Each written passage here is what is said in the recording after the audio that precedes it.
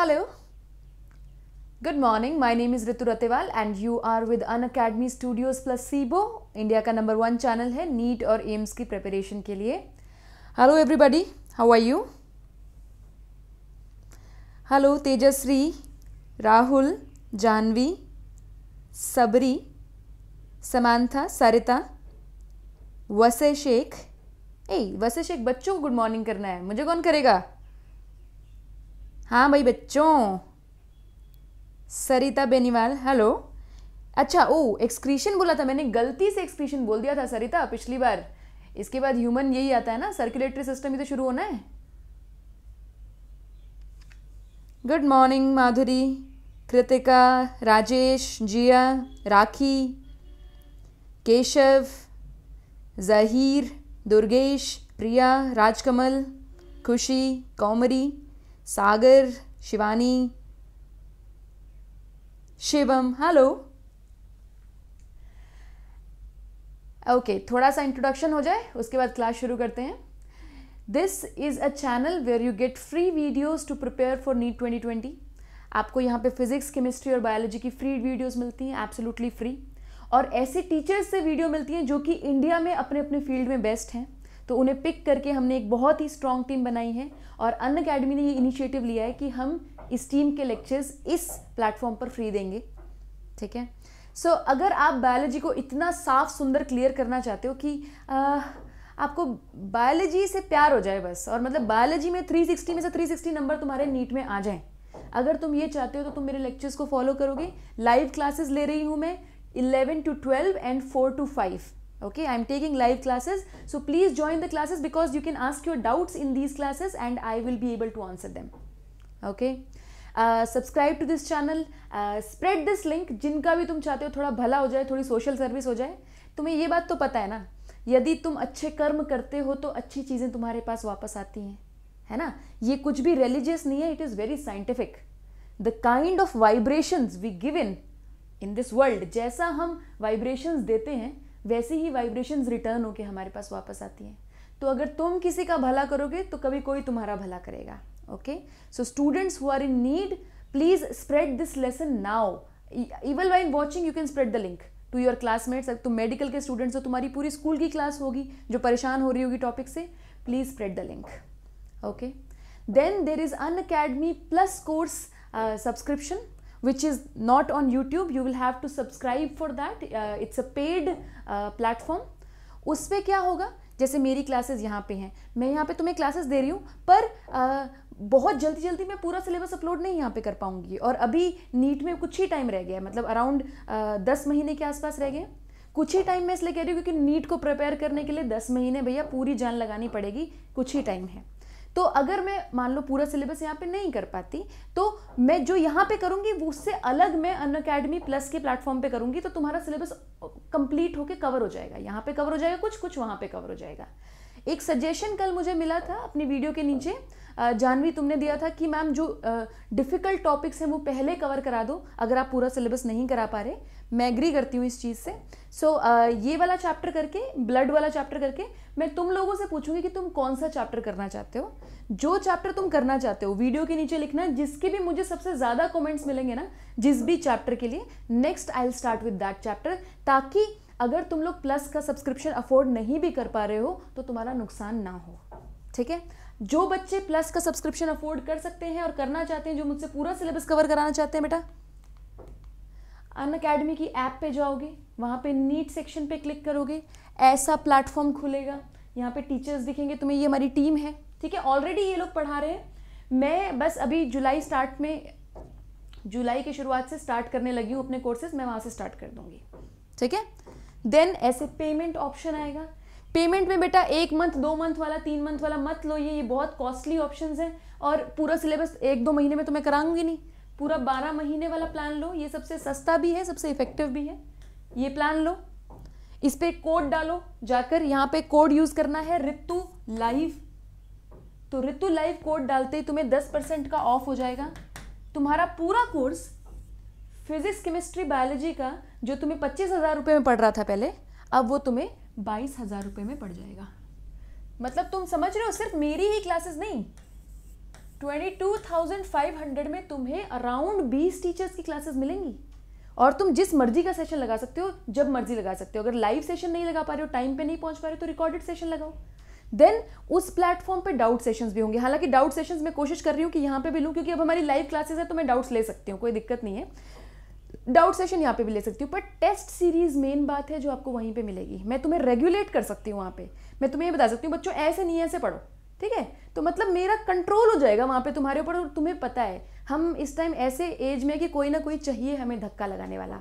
वो धक्का मैं तुम्हें वहाँ पे लगा सकती हूँ, अगर तुम प्लस का सब्सक्रिप्शन ले पाते हो तो। नहीं ले पाते, कोई बात नहीं। जो मैं वीडियोस यहाँ पे करा रही हूँ, उनको बहुत ध्यान से सुनो। एक फ़ोन होना चाहिए मोबाइल में सॉरी फ़ोन होना चाहिए डेटा होना चाहिए इंटरनेट होना चाहिए और कॉन्सेंट्रेशन होनी चाहिए। सब कुछ समझ में आएगा जो मैं यहाँ पढ़ाऊँगी। चलो, शुरू करें आज का टॉपिक हाँ बच्चों। जेनेटिक्स इजी है, फाजिल? हाँ। चलो। कमेंट सेक्शन में लिखना तो मैं ज़्यादा आसानी से देख पाऊँगी कि कौन सा चैप्टर तुम चाहते हो कि मैं कराऊं। ठीक है? मैं वही करा दूँगी। चिंता मत करो, ऐसा कुछ नहीं है कि मैं चैप्टर्स अपने बचा के रखना चाहती हूँ। जो तुम लोगों को अपने लिए सबसे मुश्किल चैप्टर लगता है, वो बताना, वो बहुत ही आसान तरीके से करा दूँगी।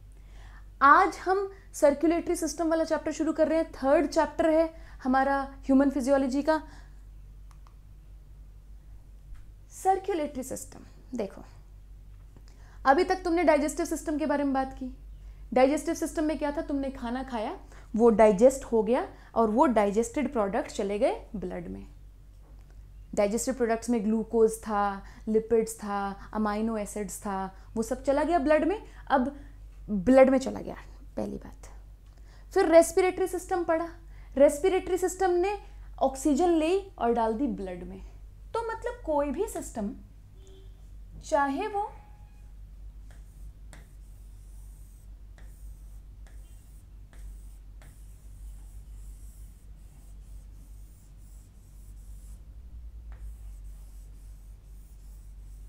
डाइजेस्टिव सिस्टम हो या वो रेस्पिरेटरी सिस्टम हो,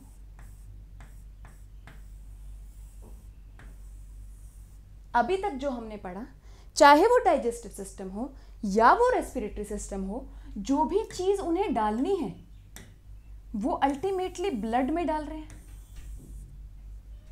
ये ब्लड वेसल है। यहाँ से डाइजेस्टेड प्रोडक्ट्स ब्लड में जा रहे हैं, यहाँ से ऑक्सीजन ब्लड में जा रही है। इन दोनों प्रोडक्ट्स को डाइजेस्टेड प्रोडक्ट्स को ऑक्सीजन को, और भी बहुत सारी चीज़ें होती हैं, इनको ट्रांसपोर्ट करने का काम ब्लड का है। So that means blood is a transporting medium now दिल this whole system which helps us to transport things from one place to another it is called circulatory system so can I write like this क्या मैं ऐसा लिख दूँ? It transports various products या products भी लिख लो चलो कुछ भी लिख लो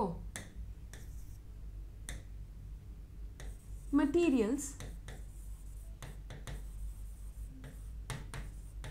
from one place to another in body. ये सही डेफिनेशन है कि कोई भी चीज़ मुझे एक जगह से साफ़ दिख रही है ना तुम लोगों को? गुड कोई भी चीज़ मुझे एक जगह से दूसरी जगह ट्रांसपोर्ट करनी है तो ये मेरे सर्कुलेटरी सिस्टम से होएगा। अब ये क्या ट्रांसपोर्ट करनी है फॉर एग्ज़ाम्पल न्यूट्रिएंट्स जो तुम्हें डाइजेस्टिव सिस्टम ने ब्लड में डाले हैं, वो न्यूट्रिएंट्स फॉर एग्ज़ाम्पल गैसेस अब गैसेस में CO2 और O2 दोनों आएगा। क्योंकि ऑक्सीजन ब्लड में। डाल रहा है। फिर डीऑक्सीनेटेड ब्लड CO2 भी डालेगा। तो यहाँ से CO2 भी वापस जाएगी यहाँ पे। तो दोनों गैसेस न्यूट्रिएंट्स और बताओ।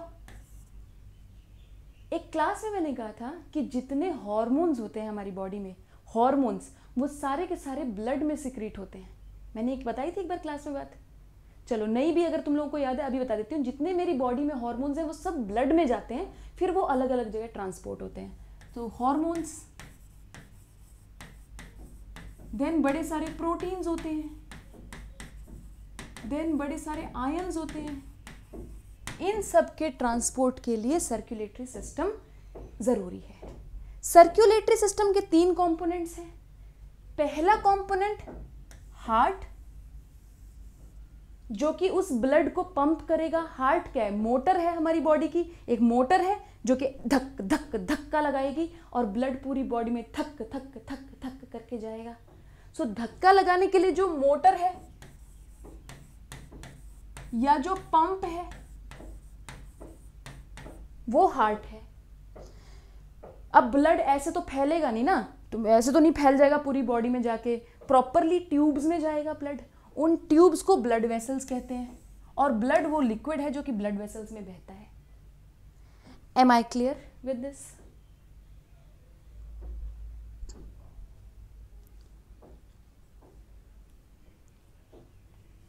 इसको नोट करो बच्चों, तब तक मैं तुम्हारे कमेंट देखती हूँ। आई मीन क्लिक कर लो इसको। समझ में आई इतनी बात? मैसेज करो जल्दी जल्दी समझ में आई इतनी बात?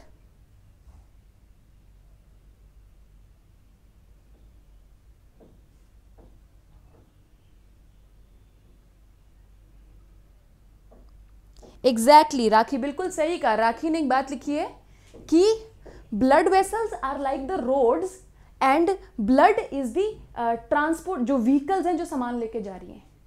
ये भी कह सकती हो राखी तुम। ये भी कह सकते हो कि blood vessels are the pipes जिसमें चलो तुम्हारे वाला एग्ज़ाम्पल ज़्यादा अच्छा है कि ये रोड है और ये व्हीकल है जो कि सामान लेके जा रहा है। Am I clear with this आगे चलूँ। ओके गुड गुड गुड अभी देखो, ये मिटा रही हूँ, मैं आगे कुछ बात करना चाहती हूँ।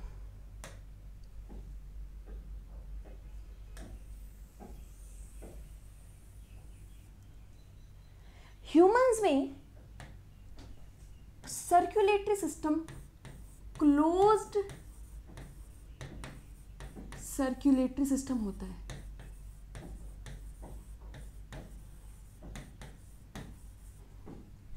इस टर्म का मीनिंग बताऊँगी बेटा क्लोज सर्कुलेटरी सिस्टम क्या होता है? इसका मतलब ये है कि जब भी, मान लो ये हार्ट है, जब भी कोई ब्लड वेसल यहाँ से निकली, मान लो एओर्टा निकली ब्लड हार्ट से पंप होके ऐसे नहीं पूरी बॉडी में फैल जाएगा, वो प्रॉपरली एक ट्यूब में जाएगा। ठीक है? और वो ट्यूब मान लो किसी ऑर्गन में घुस गई, मान लो ये ऑर्गन है कोई। वो ट्यूब ऐसे नहीं कि ऑर्गन में जाके खुला छूट जाएगा ब्लड मतलब हर कहीं ऑर्गन में घुस रहा है सेल्स के ऊपर लग रहा है, ऐसा नहीं होगा। क्लोज्ड सर्कुलेटरी सिस्टम का मतलब ये होता है that blood actually never touches the cells हमारा ब्लड कभी भी हमारे सेल्स को टच नहीं करेगा। हमारा ब्लड पतली पतली ट्यूब्स में बहेगा।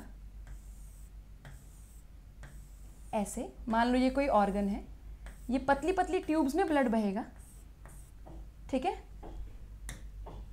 हमारे सेल्स यहाँ पड़े होंगे so blood which is flowing in these tubes is not touching the cells. It is never touching the cells. Blood में से कुछ फ्लूइड बाहर निकलेगा यहाँ से ब्लड का हल्का हल्का फ्लूड यहाँ से बाहर निकलेगा जो येलोइश कलर का होता है। And that will touch the cells like this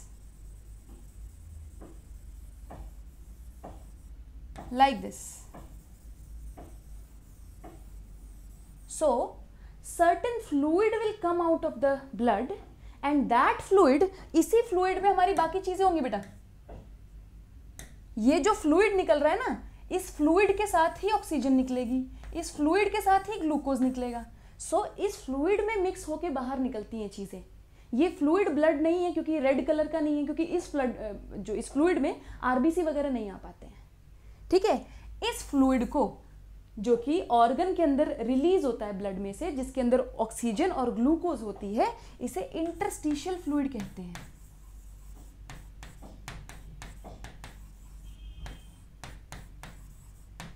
इसी को ही टिश्यू फ्लूड भी कहते हैं।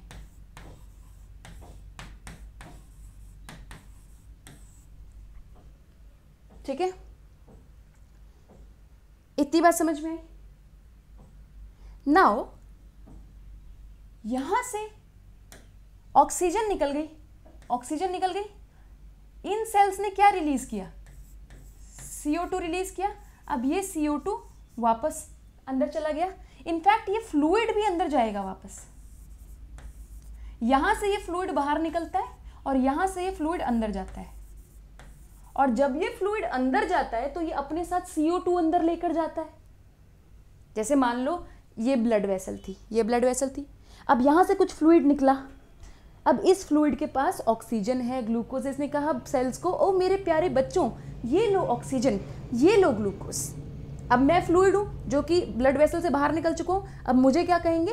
इंटरस्टिशियल फ्लूइड अब इन ये जो सेल्स हैं, इन्होंने मुझे CO2 पकड़ानी शुरू करी। लाओ CO2 लो CO2 ले लो। अब मैं CO2 से भर चुका हूँ, ठीक है? अभी भी मुझे इंटरस्टिशियल फ्लूइड ही कहेंगे। फिर अब मैं वापस ब्लड वेसल में चला जाऊँगा CO2 लेके। तो अब ब्लड वेसल में CO2 भर गई यहाँ पे। CO2 भर गई? अब ये ब्लड डिऑक्सीनेट हो गया। अब ये डिऑक्सीनेटेड ब्लड यहाँ से ऐसे निकल के वेन बना लेगा। ये पूरा डिऑक्सीनेटेड ब्लड है। हाँ बच्चों, समझ में आया? इतनी बात समझ में आई? जल्दी बोलो। जो ऑक्सीजनेटेड ब्लड लेके आती है वेसल उसको जनरली आर्टरी कहते हैं। जो डीऑक्सीनेटेड ब्लड लेकर जाती है, उसे वेन कहते हैं। अभी के लिए जान लो बस इतना। और जो ऑर्गन के अंदर पतली पतली ट्यूब्स बन जाती हैं, जो पतली पतली ट्यूब्स बन जाती हैं, ये वाली, इन्हें कैपिलरी कहते हैं।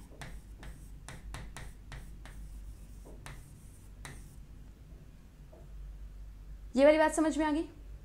अब देखो क्लोज्ड सर्कुलेटरी सिस्टम का मतलब ये है that blood never flows out of blood vessels या तुम ये कह सकते हो blood always flows inside blood vessels always flows inside blood? Vessel, क्या बोलते हो बच्चों? इतनी बात समझ में आ गई? प्यारे बच्चों, जल्दी बताओ।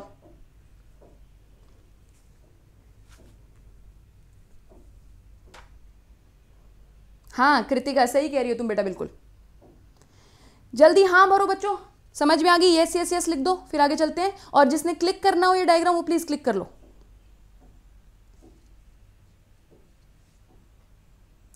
Done clicked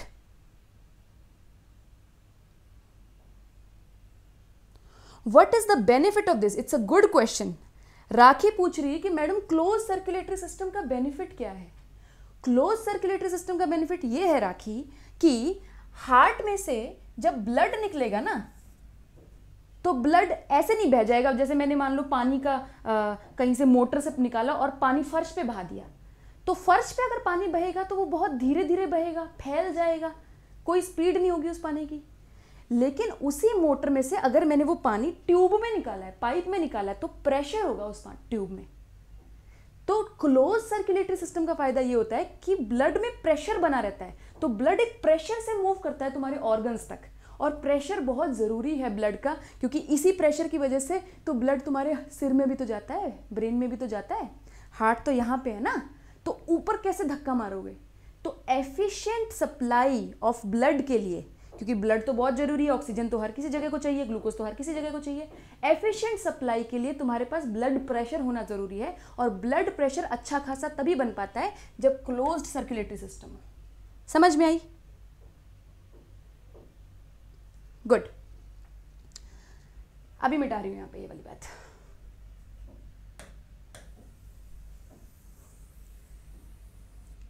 तुम्हें पता है, कुछ एनिमल्स में ओपन सर्कुलेटरी सिस्टम होता है?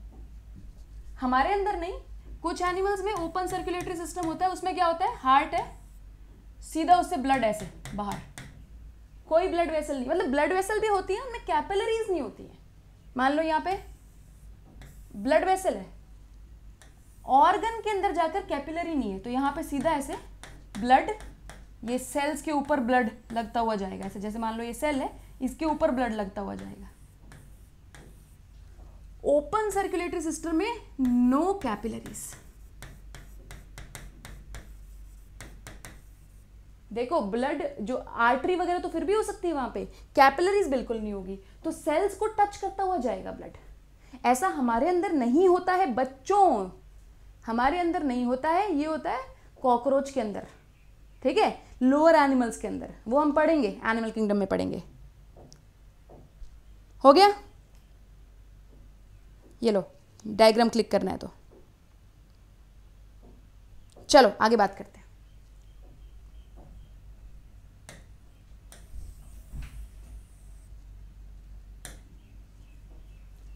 आओ, अब ब्लड के ऊपर चलते हैं।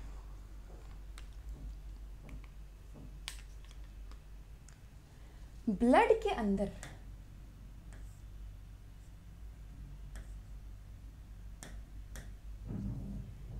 सिर्फ़ फ्लूइड ही नहीं होता। ब्लड के अंदर उस फ्लूइड में तैरते हुए सेल्स भी होते हैं। तो actually blood is formed of two things एक तो लिक्विड पार्ट हो गया ब्लड का, या फ्लूइड पार्ट हो गया। एक सेल्स या सेल कंपोनेंट्स हो गए। है ना? एक तो फ्लूइड हो गया। ये जो येलो कलर का नज़र आ रहा है ना, ये फ्लूइड पार्ट है। इसको प्लाज्मा कहते हैं प्लाज्मा और ये जो दाने दाने बनाए हैं, ये मैंने सेल्स बनाए हैं, इनको सेलुलर कंपोनेंट कहते हैं। ठीक है बच्चों? हाँ फॉर्म्ड एलिमेंट्स भी कह सकते हैं। सही कह रहे हो, तेजस्वी सही कह रहे हो, तुम कृतिका सही कह रहे हो। हम्म what is incomplete double circulation Kamal, अभी नहीं कराऊँगी बेटा। थोड़ी देर में मतलब अगली क्लासेस में कराऊँगी, यहाँ पे नहीं कराऊँगी। पर करा दूँगी, चिंता मत करो। ठीक है? प्लाज्मा और सेल कंपोनेंट्स का परसेंटेज क्या रहता है ब्लड में? ये ऑफ़ कोर्स प्लाज्मा ज़्यादा होगा सेल्स कम होंगे, लेकिन ये नहीं कि प्लाज्मा बहुत ही ज़्यादा है, ऐसा नहीं है। प्लाज्मा इज़ 55 परसेंट और सेल्स इज़ 45 परसेंट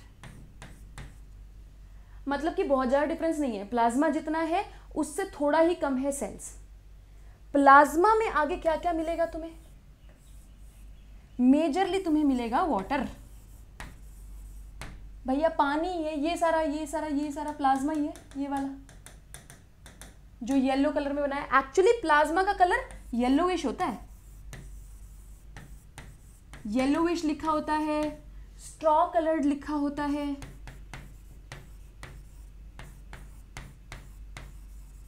स्ट्रॉ भी येलो से ही कलर का होता है। तो ये येलोइश होता है। ब्लड के फ्लूइड का कलर एक्चुअली येलोइश होता है।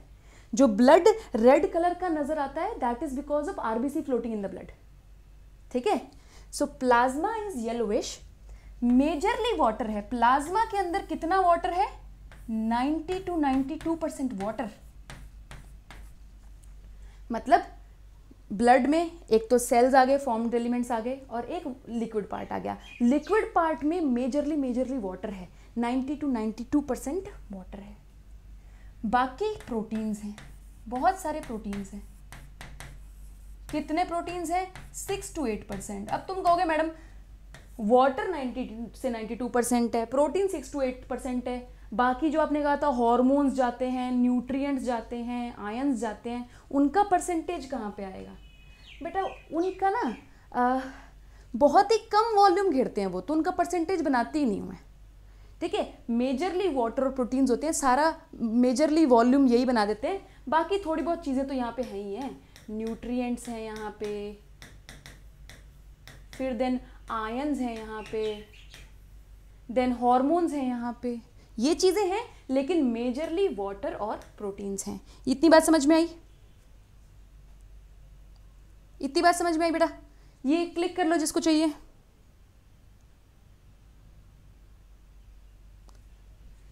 अभी देखो।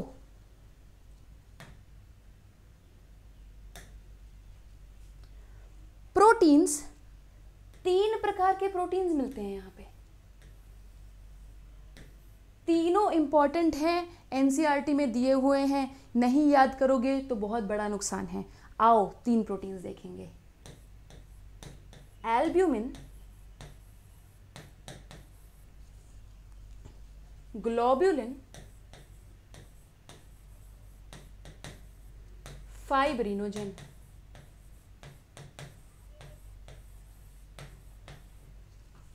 क्या बोला मैंने? ब्लड में प्लाज्मा होता है और फॉर्म्ड एलिमेंट्स होते हैं। प्लाज्मा लिक्विड पार्ट है। येलो कलर का होता है। प्लाज्मा में मेजर पार्ट वाटर का है 90 टू 92 परसेंट वाटर है, बाकी सारे प्रोटीन्स हैं 6 टू 8 परसेंट प्रोटीन्स है, ये परसेंटेज याद करनी एनसीईआरटी में दी हुई है। प्रोटीन्स फिर से आगे तीन प्रकार के हैं एल्ब्यूमिन ग्लोबुलिन और फाइब्रिनोजेन तीनों प्रोटीन्स इंपॉर्टेंट हैं, इनके बारे में हमें चीज़ें याद करनी है। चलो, बात करते हैं। जो मैं बता रही हूँ, जितनी इंफॉर्मेशन मैं बता रही हूँ, वो याद करनी है बेटा। एल्ब्यूमिन हाईएस्ट कॉन्सेंट्रेशन इसी की होती है बेटा।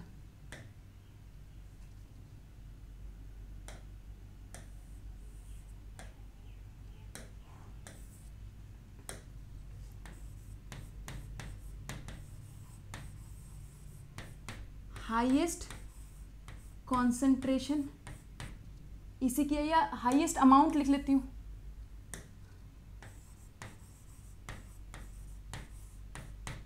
हाईएस्ट अमाउंट इसी का ही है। सबसे ज़्यादा एल्ब्यूमिन मिलता है। Around 54 percent of the protein जितने प्रोटीन है, उसका 54 परसेंट एल्ब्यूमिन होता है। लेकिन परसेंटेज याद नहीं करनी। लोएस्ट अमाउंट फाइब्रिनोजन का होता है। एल्ब्यूमिन लिवर बनाता है।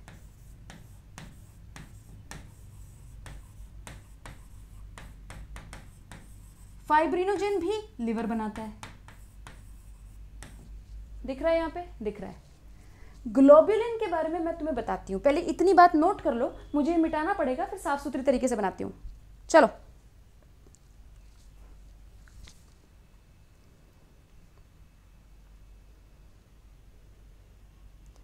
हो गया? हाँ अंशु, ये एग में भी होता है। दिस इज़ डन अब मैं इसको रब कर रही हूँ।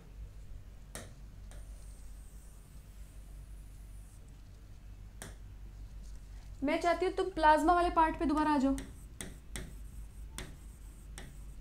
प्लाज्मा में मेजरली क्या है? वाटर और थोड़ा सा क्या है? प्रोटीन्स। प्रोटीन्स तीन प्रकार के हैं। एल्ब्यूमिन, जो कि हाईएस्ट कॉन्सेंट्रेशन में है। ग्लोब्यूलिन, जो कि बीच बीच का है। और फाइब्रिनोजन। अब देखो ध्यान से। एल्ब्यूमिन लिवर बनाता है। लिवर क्यों बनाता है इसको? ये मान लो मान लो, ये एक आर्टरी है, ठीक है? और ये कैपिलरी है। और यहाँ पे सेल है। तो तुम्हें पता है कैपिलरी से कुछ फ्लूइड बाहर निकलता है। अगर ये सारा फ्लूइड बाहर निकल जाए तो? क्योंकि कैपिलरी के अंदर प्रेशर अच्छा खासा है। ब्लड प्रेशर कैपिलरी के अंदर से अच्छा है ना? यहाँ पे इस फ्लूइड का तो कुछ भी प्रेशर नहीं है। ये जो इंटरस्टिशियल फ्लूइड है, इसका तो कोई भी प्रेशर नहीं है। तो इस प्रेशर के चलते तो बहुत ज़्यादा ही फ्लूइड बाहर निकल जाएगा। लेकिन हमारी बॉडी ऐसा नहीं चाहती कि इतना फ्लूइड बाहर निकले। हम चाहते हैं कैपिलरीज में ही ज़्यादातर फ्लूइड रहे, थोड़ा बहुत बाहर निकल जाए। तो ताकि फ्लूइड अंदर रहे, बाहर ना निकले बहुत ज़्यादा, थोड़ा सा ही बाहर निकले, यहाँ पे कुछ प्रोटीन्स होते हैं। यहाँ पे कुछ प्रोटीन्स होते हैं जो इस वाटर को बाहर नहीं जाने देते। ये प्रोटीन एल्ब्यूमिन होते हैं। देखो, तुम्हें एक सीधी सी बात बताती हूँ मैम। प्रोटीन पानी को प्यार करते हैं, पानी प्रोटीन को प्यार करता है। पानी की बीवी की तरह है प्रोटीन्स, ठीक है? जहाँ पानी की बीवी होगी, पानी वहीं जाएगा। या जहाँ पानी जाएगा, वहीं पानी की बीवी जाएगी। ये बात याद रखनी है। प्रोटीन्स बाहर नहीं निकल सकते। कैपिलरी से क्योंकि कैपिलरी के जो छेद है ना जिनसे चीज़ें बाहर निकलती है वो इतने बड़े नहीं है कि प्रोटीन निकल सके। तो प्रोटीन बाहर नहीं निकलेंगे सिर्फ़ वाटर बाहर निकलेगा। लेकिन वाटर बहुत ज़्यादा बाहर नहीं निकलेगा क्योंकि वाटर की बीवी तो अंदर ही है ना कैपिलरी के अंदर ही है ना ये प्रोटीन यहीं पे है ना। सो so, वाटर की बीवी अंदर है इसीलिए वाटर कम ही बाहर निकल पाता है। So albumins retain the water inside the capillaries ऐसा लिख सकती हूँ मैं? Retain the water inside capillaries कह सकती हूँ ना ऐसा? इसके लिए एक टर्म है साइंटिफिक टर्म है। किसी की जगह पे पानी रिटेन करना या कोई भी मतलब एग्जैक्ट मीनिंग नहीं बताऊँगी अभी इस टर्म का, लेकिन अभी के लिए याद करो, इसे मैं बोलती हूँ ऑस्मोटिक प्रेशर मेंटेन करना या ऑस्मोटिक बैलेंस मेंटेन करना। सो so, मैं इसे ये कह सकती हूँ maintenance osmotic balance of blood इसका मतलब क्या है? इसका मतलब ये है देखो बेटा अभी मेरी बात ध्यान से सुनो उसके बाद नोट करने की सोचना। प्लीज़ मेरी बात ध्यान से सुनो। ब्लड है ब्लड के अंदर फ्लूइड भी है, ब्लड के अंदर प्रोटीन भी है, ठीक है? तो ब्लड का एक ऑस्मोटिक बैलेंस है। ऑस्मोटिक बैलेंस का भी मीनिंग यही समझ लो कि वाटर और प्रोटीन्स का एक बैलेंस है। जब ब्लड कैपिलरीज में जाता है तो बहुत ज़्यादा फ्लूइड बाहर ना निकल जाए, उसके लिए प्रोटीन्स होते हैं अंदर। वो प्रोटीन्स उस वाटर को बाहर नहीं जाने देते। तो प्रोटीन्स बेसिकली रेशियो मेंटेन करके रखते हैं। प्रोटीन इज़ टू वाटर की जो रेशियो होती है। है ना? प्रोटीन के होने से वाटर बाहर नहीं जा पाता कैपिलरीज के। तो बेसिकली ब्लड के अंदर प्रोटीन और वाटर की रेशियो मेंटेन हो जाती है। यही रेशियो ही ऑस्मोटिक बैलेंस है। इतनी बात समझ में आई है? कमेंट में लिखो जरा।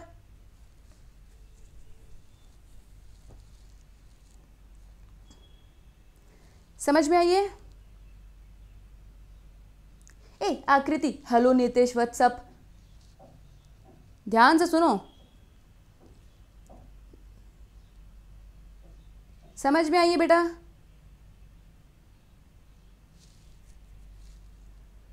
I hope it is very clear so albumins help in maintaining osmotic balance of the blood that means retaining the water inside the blood vessels ये एल्ब्यूमिन का काम है। कहाँ से बनता है एल्ब्यूमिन ये तुम्हें पता है? फॉर्म्ड बाय लिवर ग्लोब्यूलिन्स की अगर बात करें, ध्यान से देखो बेटा।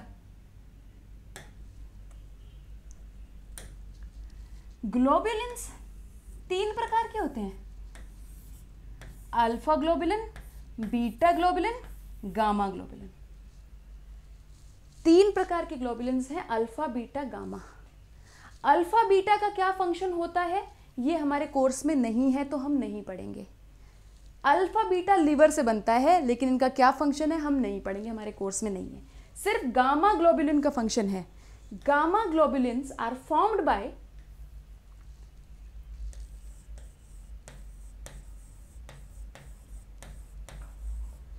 एक प्रकार के डब्ल्यूबीसी द्वारा गामा ग्लोबुलिन्स बनाई जाती हैं। डब्ल्यू एक ब्लड सेल होता है, ठीक है?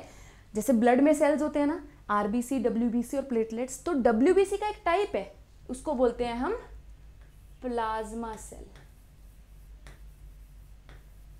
कोई बात नहीं, ये वर्ड जिसको नहीं पता, अभी डरने की ज़रूरत नहीं है। सिर्फ़ याद रखो, gamma globulins are formed by plasma cells इन्हीं को एंटीबॉडीज कहते हैं बेटा। Gamma globulins are called antibodies आगे जाके तुम लोग पढ़ोगे कि एंटीबॉडीज तुम्हारी बॉडी की रक्षा करती हैं, बीमारियों से रक्षा करती हैं, ठीक है? डिज़ीज़ से रक्षा करती हैं। तो तुम्हें ये बात पता अभी चलेगी कि डब्ल्यू हमारी बॉडी की फौज होती हैं। डब्ल्यूबीसी एक प्रकार का ब्लड सेल है, वो हमारी बॉडी की फौज है। हमारी बॉडी की रक्षा करता रहता है, वो बैक्टीरिया से लड़ाई करता रहता है। तो एक प्रकार का डब्ल्यूबीसी है, जिसको प्लाज्मा सेल कहते हैं, वो गामा ग्लोबुलिन रिलीज़ करता है। गामा ग्लोबुलिन का दूसरा नाम एंटीबॉडीज़ है। और ये एंटीबॉडीज़ हमें बीमारियों से बचाने में हेल्प करती है। अभी के लिए बस इतना जान लो, कैसे करती है, ये हम अगले चैप्टर्स में पढ़ेंगे। फाइब्रिनोजेन भी फॉर्म्ड बाय लिवर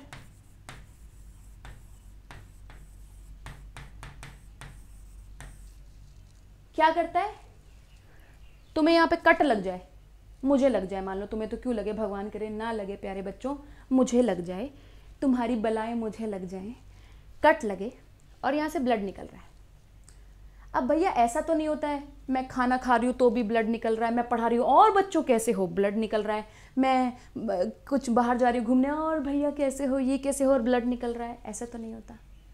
कोई भी नॉर्मल सा कट लगता है तो वो बहुत जल्दी हील कर जाता है। इसे ब्लड क्लॉटिंग कहते हैं। ब्लड का आना बंद होना उसे ब्लड क्लॉटिंग कहते हैं। ब्लड क्लॉटिंग के लिए कुछ प्रोटीन्स हेल्पफुल होते हैं। इनमें से एक फाइब्रिनोजेन है। ठीक है? सो मैं यहाँ पर लिख रही हूँ हेल्प्स इन ब्लड क्लॉटिंग कैसे? ये हम डिटेल में पढ़ेंगे।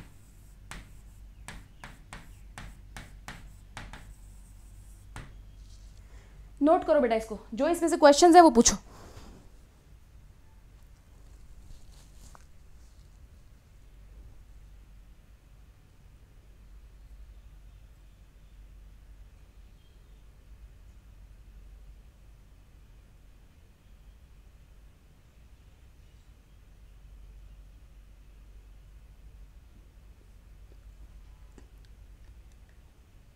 डन? अगर क्लियर हो गया बेटा प्लीज़ लिखो, डन। जुवेरियस मार्टी, इतनी खुश है ये लड़की, है? चलो, आगे चलते हैं। इसको अगर मुझे कंक्लूड करना हो तो मैं क्या कहूँगी? चलो, अभी मेरे साथ साथ कंक्लूड करोगे। जो तुम्हें याद हो गई है बात, वो साथ साथ में करोगे बेटा, क्योंकि यहीं पे याद करना है। मैं क्लास में ही सब कुछ याद करना है, ठीक है? ब्लड है, ब्लड के दो पार्ट्स हैं, प्लाज्मा और सेल्स। प्लाज्मा कितने परसेंट है? तुम बोलो। 55 परसेंट। सेल्स कितने परसेंट है? 45 परसेंट। सेल्स के बारे में हमने कोई बात नहीं करनी। प्लाज्मा में मेनली क्या चीज़ है? वाटर। कितना परसेंट? 92 92 परसेंट। वाटर है। 6 टू 8 परसेंट क्या है? प्रोटीन्स हैं। बाकी आयन्स वुइंस भी बहुत हैं, पर वो हमने बात ही नहीं की अभी। ठीक है? प्रोटीन्स आगे तीन प्रकार के हैं। कौन कौन से? एल्ब्यूमिन ग्लोब्यूलिन और फाइब्रिनोजन। एल्ब्यूमिन कहाँ से आया था? लीवर से। यार हमारा लीवर ना बहुत ज़्यादा मेहनत करता है हमें ज़िंदा रखने के लिए। तुम्हें पता नहीं है। लीवर जैसे वो नहीं दिखाते? आ, फ़ोटो नहीं दिखाते? एक बंदी के ऐसे इतने सारे हाथ होते हैं। या जैसे हमारे यहाँ हिंदू रिलीजन में माता दिखाते हैं काली माता ऐसे ऐसे हाथ होते हैं कि बड़े सारे काम कर रही होती हैं वो बड़े सारे हाथों से। लिवर वैसा होता है।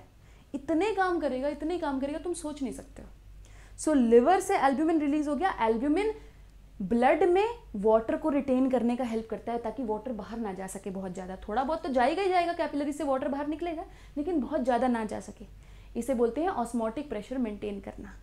ग्लोबुलिन में गामा ग्लोबुलिन होते हैं। गामा ग्लोबुलिन ऐसे केमिकल्स होते हैं जो कि हमारी बॉडी को बीमारी से बचाते हैं। ठीक है? गामा ग्लोबुलिन्स को ही एंटीबॉडीज कहते हैं। तीसरा फाइब्रिनोजन सबसे कम प्रोटीन होता है। कहीं भी छोटा मोटा कट लग जाए तो उसको बंद करने के लिए ब्लड को बंद करने के लिए क्लॉटिंग प्रोटीन होता है ये। सो क्लॉटिंग में हेल्प करता है। I hope this is done ठीक है? अभी मैंने कहा ब्लड के प्लाज्मा होता है ब्लड का सेल्स होता है। ये बनते कहाँ से हैं? तो मैंने बात ही नहीं की। कि प्लाज्मा बॉडी में कहाँ से बनता है? ब्लड में कहीं से तो बन के आएगा ना प्लाज्मा हमेशा ऐसा तो नहीं कि एक बार बन गया, वही चलता रहेगा और नया प्लाज्मा भी बनेगा। है ना? और सेल्स कहाँ से बनते हैं? बॉडी में कहाँ से बन के आती हैं ये दोनों चीज़ें? एक बार उसके बारे में बात करते हैं, फिर ब्लड सेल्स के बारे में बात करेंगे। ओके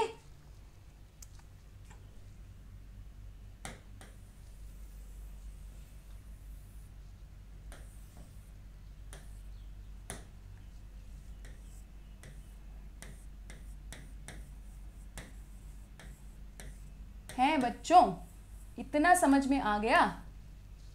चलो, ये देखो। ये मेरी ब्लड है की नदी है।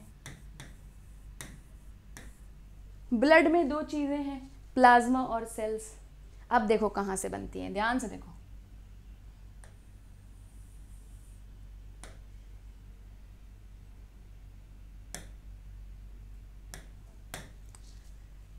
जितना वाटर है, अरे अरे ब्लैक कलर गलत ले लिया।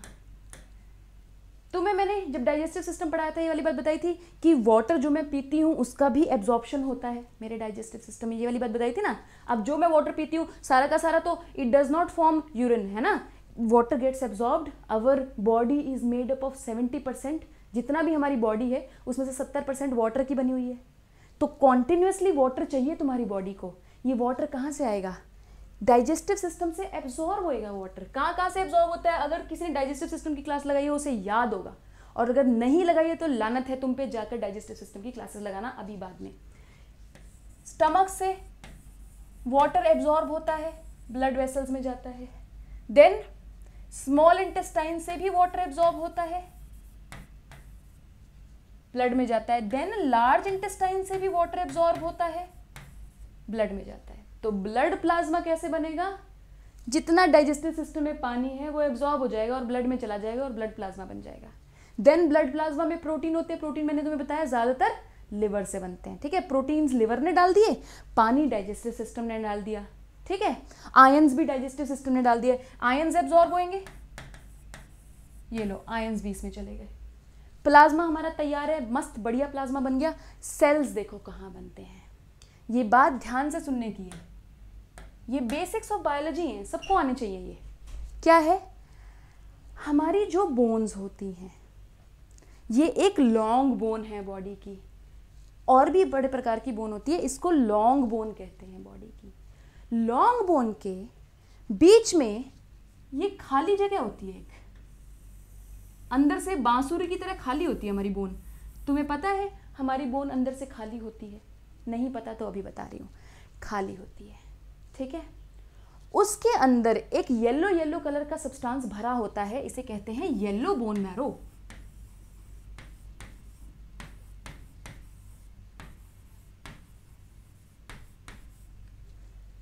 yellow bone marrow कभी भी ब्लड सेल्स को नहीं बनाता है। बात खत्म हो गई यहाँ पे।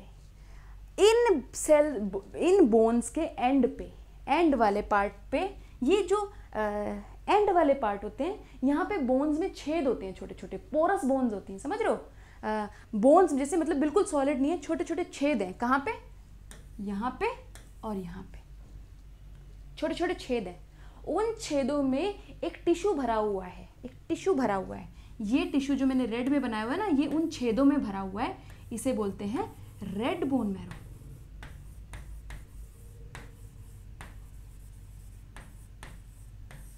मतलब कि तुम्हारी बॉडी में दो प्रकार का बोन मैरो हो गया येलो बोन मैरो और red bone marrow almost fifty fifty percent मिलता है एडल्ट्स में। मतलब कि जैसे अगर तुम 20 साल से ऊपर हो जाओगे तो येलो और red bone marrow equal equal concentration में मिलेगा। येलो बोन मैरो कोई सेल नहीं बनाएगा blood cell red bone marrow सभी सेल्स बनाएँगे। मतलब कि रेड बोन मैरो से आरबीसी भी बनेगा। रेड बोन मैरो से डब्ल्यूबीसी भी बनेगा। ये आरबीसी डब्ल्यूबीसी क्या है बेटा? ब्लड के सेल्स हैं, अभी मैं पढ़ाऊँगी। और रेड बोन मैरो से ही प्लेटलेट बनेगा। कुछ कुछ ओवर इंटेलिजेंट बच्चे जो कि कुछ कुछ चीज़ें पढ़ लेते हैं, वो कभी कभी अजीब अजीब सी बातें करने लगते हैं कि डब्ल्यू तो थाइमस से बनेगा, फलाना तो लिवर से बनेगा। ये बकवास की बातें हैं, ये हमें नहीं सुननी किसी के मुँह से। सारे के सारे blood cells all the blood cells are formed from red bone marrow please understand that जितनी भी तुम्हारी बोन्स हैं उनके एंड में, सब में नहीं बनता है, लेकिन तुम्हें जानने की ज़रूरत नहीं है किस किसमें बनता है। उनके एंड में रेड बोन मैरो होता है। ये रेड बोन मैरो तीनों सेल्स को बनाएगा और ये सेल्स फिर ब्लड में जाएँगे। समझ में आ गया? प्लाज्मा डाइजेस्टिव सिस्टम से आएगा, प्लाज्मा के प्रोटीन्स लिवर से आएँगे और ब्लड सेल्स बोन मैरो से आएँगे। I hope I am very clear with this please click a picture if you have a doubt ask me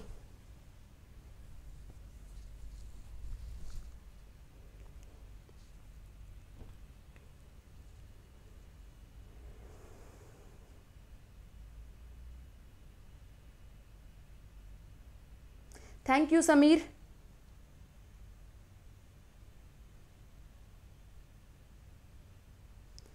Ansh actually में क्या होता है? हाँ। अंश अंश मुझसे क्वेश्चन पूछ रहा है कि मैम ये डाइजेस्टिव सिस्टम के पैरेलल में रन करती है क्या हमारी ब्लड वेसल्स पैरेलल में नहीं रन करती है रन करती है बेटा, क्या होता है? ये डाइजेस्टिव सिस्टम है, मान लो। ये वॉल है डाइजेस्टिव सिस्टम की ट्यूब ही है बेसिकली ये ट्यूब ही है पूरी एलिमेंट्री कैनाल ट्यूब है। इस ट्यूब की वॉल के अंदर ब्लड वेसल्स घुसी होती हैं। जैसे फॉर एग्ज़ाम्पल कैसे एग्ज़ाम्पल दूँ तुम्हें? ये ट्यूब है हॉलो ट्यूब मान लो, ये लार्ज इंटेस्टाइन है, इसकी एक वॉल है। इस वॉल के अंदर ब्लड वेसल्स घुसी होती हैं। ठीक है? अगर तुमने मेरा डाइजेस्टिव सिस्टम का लेक्चर लगाया बेटा तो तुम्हें याद होगा इस वॉल में लेयर्स होती हैं म्यूकोजा सब म्यूकोजा जो सब म्यूकोजा लेयर है, उसके अंदर ब्लड वेसल्स चलती हैं। ठीक है?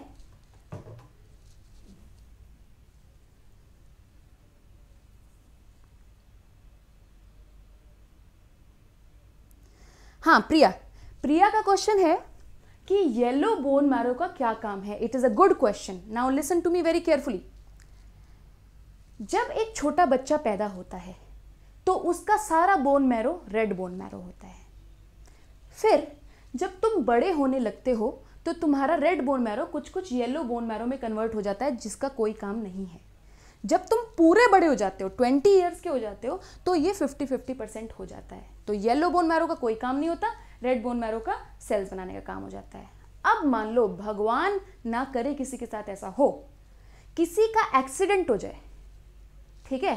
किसी बंदे का एक्सीडेंट हो गया और उसका बहुत ज़्यादा ब्लड लॉस हो गया, फट गया, सर खून निकल रहा है बहुत बुरी तरीके से तो रेड बोन मैरो को सिग्नल जाएगा बॉडी कहेगी, जल्दी जल्दी ब्लड बनाओ ब्लड सेल्स बनाओ ब्लड बहुत ज़्यादा बह गया है। तो रेड बोन मैरो क्या करेगा? बहुत जल्दी जल्दी आरबीसी डब्ल्यूबीसी प्लेटलेट्स बनाना शुरू करेगा। लेकिन वो इनफ नहीं है मान लो। बहुत ज़्यादा डैमेज हो गया or, or red bone marrow अपना काम पूरी तरीके से नहीं कर पा रहा। जितना ब्लड सेल्स चाहिए उतनी जल्दी से नहीं बना पा रहा है। तो कुछ कुछ येलो बोन मैरो ऐसी इमरजेंसी कंडीशन में कुछ कुछ yellow bone marrow red bone marrow में वापस से कन्वर्ट हो जाएगा। समझ में आया मैंने क्या कहा? मैंने कहा इन emergency conditions yellow bone marrow can get converted into red bone marrow to produce more blood cells suppose in case of an accident लिख लो ये बात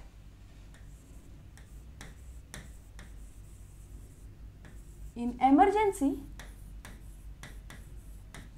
yellow bone marrow can convert to red bone marrow. I hope this is very clear चलो आगे चलते हैं। कोई doubts हैं?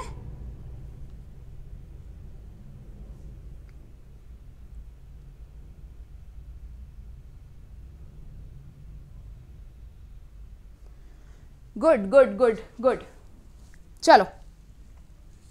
समझ में आ गई ये वाली बात? अभी पीछे चलो। ब्लड के दो कंपोनेंट्स से यहाँ तक बात हो गई थी, प्लाज्मा तुमने अच्छी तरीके से समझ लिया। अब सेल्स पे आ जाओ या सेलुलर कंपोनेंट्स पे आ जाओ। टोटल कितना पार्ट है सेल्स में? 45 इधर कितना है? 55 सेल्स तीन प्रकार के हैं अब। कौन कौन से? ये तुम्हें पता है। नहीं भी पता तो सुन लो। एक रेड कलर का सेल होता है, ये साइड से देख रही हूँ मैं तो ये ऐसा नज़र आता है अजीब सा। यहाँ से मोटा, बीच से पतला फिर साइड से फिर से मोटा। कौन सा सेल है ये? Red blood cell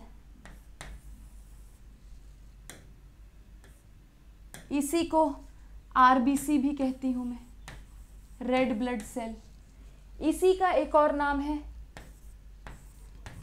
erythro site देखो, इसका मीनिंग क्या है? इरिथ्रोसाइट का मीनिंग क्या है? इरिथ्रो का मतलब होता है रेड कलर्ड और साइट का मतलब होता है cell because it's red coloured cell इसलिए इसको इरिथ्रोसाइट कहेंगे। अब ये रेड कलर का है क्यों? Why red coloured the cell itself is not of red colour the pigment inside the cell is of red colour so what is the pigment inside this cell यहाँ पे एक pigment बैठा है ऐसे which is red in colour Which pigment is this? Inside the RBC? You know this.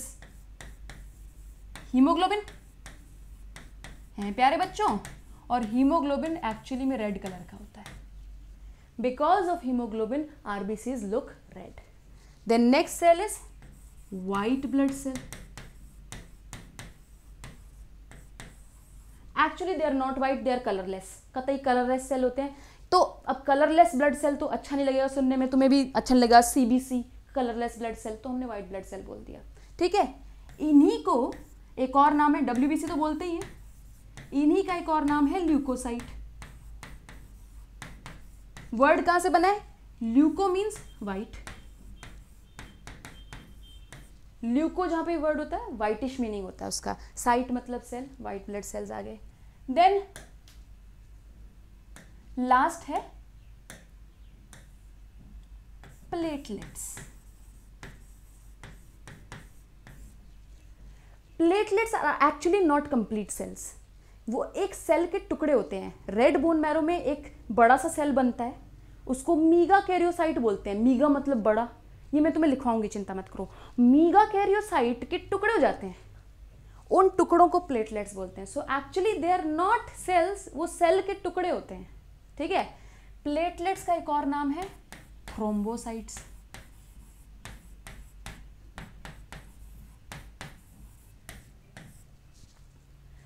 Total 45 percent cells हैं हमारे पास। उसमें से 99 परसेंट रेड ब्लड सेल्स ही हैं। समझ में आ रहा है? कॉन्सेंट्रेशन कितना ज़्यादा है रेड ब्लड सेल्स का? इसका 44 परसेंट इधर आ गया। मतलब कि इस 45 परसेंट में से 44 परसेंट तो इधर ही आ गया। ये दोनों मिला के दिस प्लस दिस मिला के एक परसेंट दिस प्लस दिस मिला के एक परसेंट ये सही नहीं बना। समझ रहे हो ना? ये और ये मिला के एक percent that means ninety nine percent of the blood cells are red blood cells rest one percent is W B C plus platelets कितना आरबीसी होता है? ये तुम्हारी एनसीआरटी में दिया है। Please learn this how many RBCs it is five to five point five million चलो, आज बस ये लास्ट टॉपिक करेंगे। पर एम एम क्यूब इसका मतलब क्या है? पर एम एम क्यूब का मतलब क्या है? इसका मतलब ये है, थोड़ा सा ब्लड लो। एक एम एम की मतलब एक ब्लड का डब्बा ले लो। एक एम एम की एम एम मतलब मिलीमीटर की एक वॉल बना लो। एक मिलीमीटर की एक वॉल बना लो। एक मिलीमीटर की एक बना लो, ठीक है? एक छोटा सा डब्बा ले लो। एक क्यूब ले लो, वन एम एम क्यूब का। One M M, one M M, one M M, छोटा सा क्यूब बन जाएगा। उसमें जितना ब्लड आता है, उसके अंदर five to five point five million RBCs होंगे। डब्ल्यू कितने हैं? कतई कम, बहुत ही ज़्यादा कम। छ हज़ार से आठ हज़ार।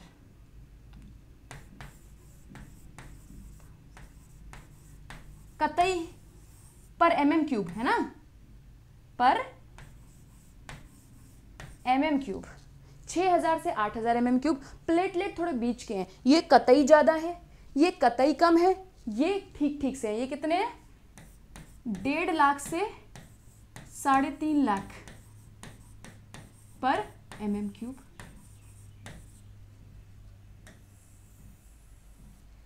मैं बच्चों, कितना भी ला, साफ़ लिखने का कोशिश कर लूँ, बोर्ड पे साफ़ लिख ही नहीं सकती। इतना कचड़ा मचा देती हूँ अल्टीमेटली मुझे खुद से घृणा होने लगती है।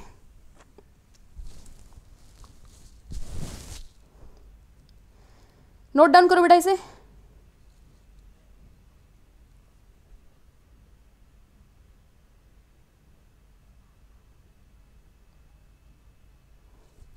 चलो, आज की क्लास खत्म करते हैं। ये वाली बात नोट डाउन करने के बाद। अभी तक बात क्या किया हमने? आज बस बेसिक शुरू किया क्या बात की है? ब्लड होता है ब्लड का प्लाज्मा होता है ब्लड के सेल्स होते हैं। प्लाज्मा कहाँ से आता है? डाइजेस्टिव सिस्टम से वाटर एब्जॉर्ब होकर ब्लड सेल्स कहाँ से आते हैं? सारे के सारे रेड बोन मैरो से बन के आते हैं, ठीक है? प्लाज्मा के बारे में बात कर ली थी सेल्स के बारे में तीन प्रकार के सेल्स होते हैं red blood cell white blood cell और प्लेटलेट्स रेड ब्लड सेल सबसे ज़्यादा होते हैं, कतई ज़्यादा होते हैं, कितने ज़्यादा होते हैं? Five to five point five million ये अगली क्लास में तुम लोगों से आते पूछूँगी मैं ये डेटा सारा का सारा. Per M M cube white blood cells कितने होते हैं? बहुत ही कम छः से आठ हज़ार. वो मिलियन में मिलियन कितना होता है? एक मिलियन कितना होता है? दस लाख को एक मिलियन बोलते हैं। तो ये कितने लाख हो गए बेसिकली पचास से पचपन लाख। पचास से पचपन लाख होते हैं ये एक एम एम क्यूब में। ये बेचारे हज़ारों में चल रहे हैं छः से आठ हज़ार है। और वो थोड़ा बीच बीच का है, डेढ़ से साढ़े तीन लाख। पचास से पचपन लाख, डेढ़ से साढ़े तीन लाख छः से आठ हज़ार। ठीक है? आज हमने बस बेसिक किया है। अगली बार ब्लड के बारे में और ज़्यादा पढ़ेंगे। अगली बार मतलब अभी, शाम को, चार से पाँच। Okay I'll see you bye bye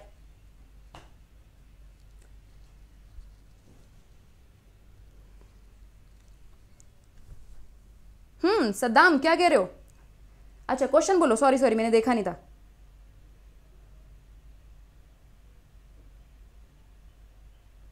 मैं वेट कर रही हूँ। सदाम तुम्हारे क्वेश्चन का?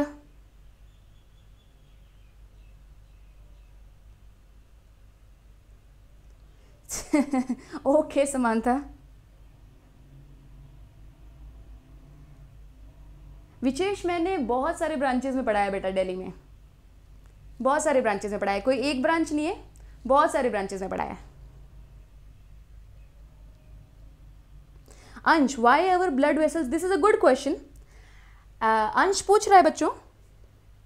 सदाम, तुम्हारा क्वेश्चन नहीं मुझे मिल रहा है तो मैं अंश का क्वेश्चन आंसर कर रही हूँ, ठीक है? अंश मुझे पूछ रहा है कि मैम, ये जो ब्लड वेसल्स ब्लू नज़र आती है ना, ये ब्लू क्यों नज़र आती हैं? क्या ब्लड ब्लू कलर का होता है? ब्लड कभी भी ब्लू कलर का नहीं होता, चाहे वो ऑक्सीजनेटेड हो, चाहे वो डीऑक्सीजनेटेड हो। देखो, पहली बात तो ये तुम्हें वेन्स नज़र आ रही है। आर्टरीज कभी भी बाहर नहीं नज़र आती वेन्स थोड़ी बाहर को सिचुएटेड होती हैं बॉडी में। इसलिए ये वेन्स नज़र आती हैं। आर्टरीज कभी नज़र ही नहीं आती। तो वेन्स में डीऑक्सीजनेटेड ब्लड होता है। तो हमें लगता है कि डीऑक्सीजनेटेड ब्लड ब्लू कलर का होगा, इसीलिए ये वेन्स ब्लू कलर की दिखती हैं। ये बिल्कुल गलत है। Deoxygenated blood dark red colour का होता है। Oxygenated blood light red colour का होता है। ठीक है? सो डार्क रेड कलर में ये ब्लू क्यों दिखती है? ये मैंने नेट पे बहुत ज़्यादा खोजने की कोशिश करी। मुझे कोई भी अच्छा आंसर नहीं मिला। एक आंसर मुझे थोड़ा सा ये मिला था कि the answer lies in physics वो उस आर्टिकल में ये था कि जब लाइट पड़ती है हमारी स्किन पे तो सम हाउ सिर्फ़ ब्लू लाइट ही रिफ्लेक्ट करती है हमारी ब्लड वेसल्स हमारी ब्लड वेसल की वॉल ऐसी होती है कि वो ब्लू लाइट को रिफ्लेक्ट कर पाती है, इसलिए ब्लू दिखती है. ये मुझे फिजिक्स का आंसर था तो मुझे इतना अच्छे से समझ नहीं आया बट ये आंसर मुझे मिला है बेटा. ठीक है? हाउ इज़ कंपेटिबिलिटी अरे अरे, सदाम, यही तो नेक्स्ट लेक्चर में करेंगे बेटा. नेक्स्ट लेक्चर में या नेक्स्ट से नेक्स्ट लेक्चर में मैं तुमसे यही बात करूँगी कि ए बी ब्लड ग्रुप क्या होता है, कैसे, किसमें कौन सा ब्लड ग्रुप डालते हैं। फिर उससे अगली क्लास में हम बात करेंगे आर एच फैक्टर्स की कंपेटिबिलिटी क्या होती है। ये सब पढ़ाऊँगी बेटा मैं तुम्हें। ठीक है? ये सब पढ़ाऊँगी मैं।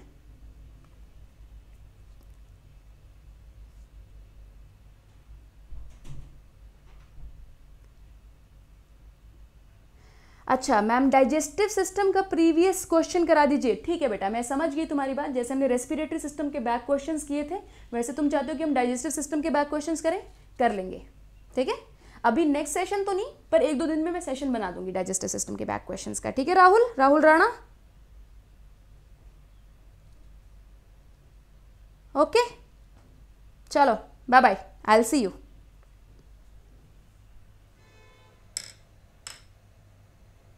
yes Kritika बिल्कुल सही तुम कह रही हो। ब्लड हमेशा ही रेड कलर का होता है, क्योंकि उसमें हीमोग्लोबिन हमेशा ही होता है। Okay I see you guys bye bye